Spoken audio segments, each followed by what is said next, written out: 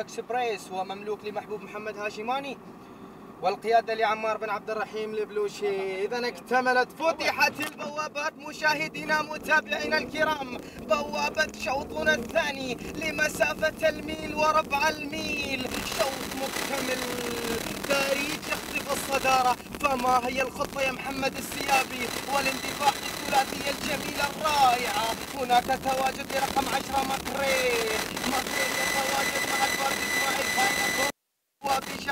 العزيز الصواعي. إذا هناك أيضا تواجد ديباوي كينج يتواجد وبالشعار الأبيض.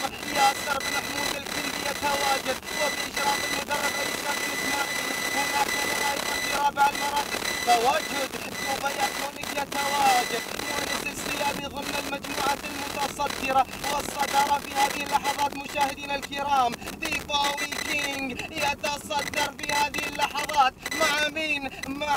المركز الثاني رقم أربعة. دبي كونك يصل في هذه اللحظات. يصل ماكريل عبد العزيز الصواعي الشعار البنفسجي. ولكن الصدارة في هذه اللحظات. دبي كونك وديباوي كينج دبي كونك وديباوي كينج وفي ثالث المراكز هناك ماكريل. أسعد السيابي يسيطر. في هذه اللحظات سيطرة رائعة سيطرة جميلة.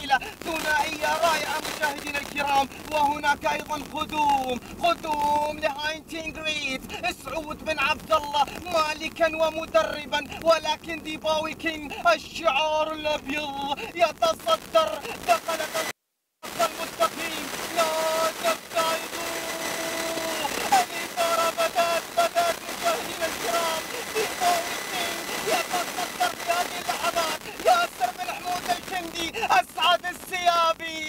يتصدر مشاهدينا الكرام صدارة رائعة. هاينتين جريد ثاني المراكز والدبي كونك ولكن يعيد الثنائية. يعيد الثنائية مشاهدينا الكرام. فارق كبير فارق جميل فارق رائع مشاهدينا الكرام. أسعد السيابي يختم هذا الشوط. إذا مشاهدينا متابعينا الكرام ديباوي كينج يسجل الانتصار ليا